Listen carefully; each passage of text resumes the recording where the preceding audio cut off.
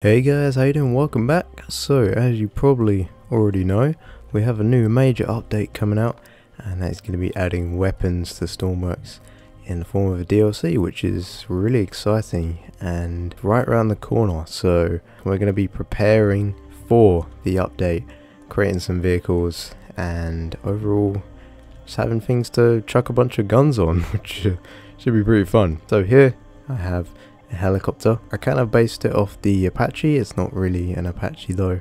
But uh, yeah, so the devs have been adding a few blocks and changes in uh, some minor updates recently.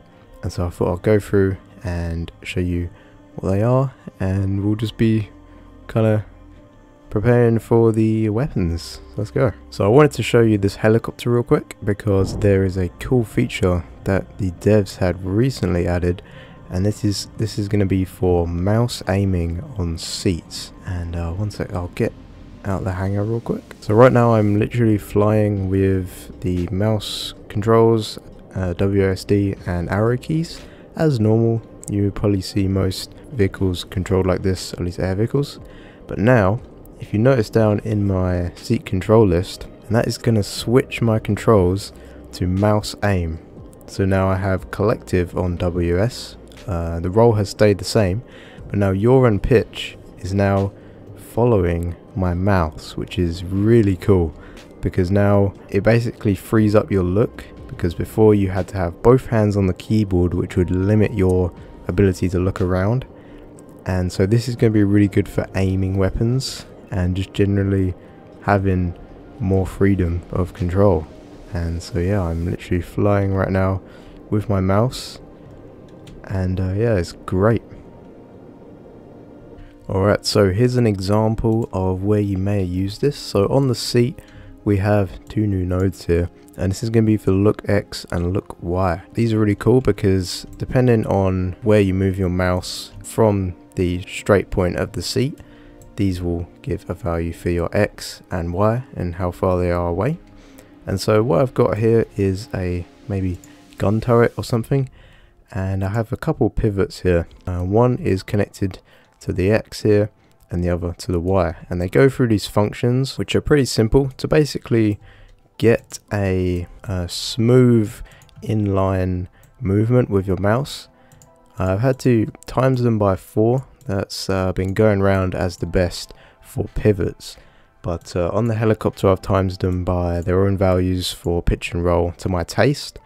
Uh, around between maybe 3 and 10 are good values to times these by because they don't come out very high values themselves maybe 0.07 if you're looking just a little bit off axis. So we'll spawn this and uh, yeah maybe you might have a gunner or something. And as you can see the turret is following where I look which is really cool So the next thing we'll be looking at is the hardpoint connectors. And these are really cool because they act like normal connectors but they're designed for maybe uh, missile racks or some other kind of ordnance. And they have a whole list of the different types you can use. So on the block it's like a 3x1 and we have a fluid port on here. So this is going to be for maybe drop tanks or extra fuel tanks that you can actually connect on to the underside of a wing for say but uh, yeah it's really universal what you can use these for and I'll show you just how to set one up real quick in the editor. So we'll use the body connector obviously on the wing of something on the body and then we'll use the hardpoint connector attachment and this will be what will go on our ordnance so this is a smaller block. For sake of this let's build a little missile here or rocket.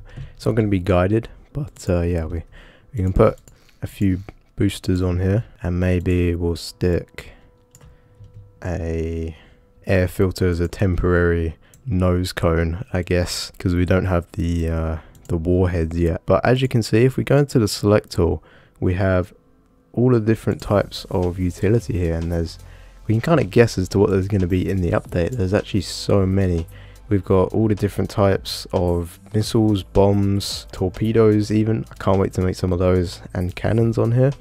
And so the ordnance type will be output on the hardpoint itself with numbers corresponding to the different types of ordnance that you've selected here. So on the body connector we have two options for actually sending off our ordnance. That's going to be launch and release. Release is simple just drop like release on a normal connector. And so in this case our missile will just fall to the floor and uh, not do anything. But then we also have launch which if you see this output here it says launched and what happens if you press launch? It will actually activate this launched output.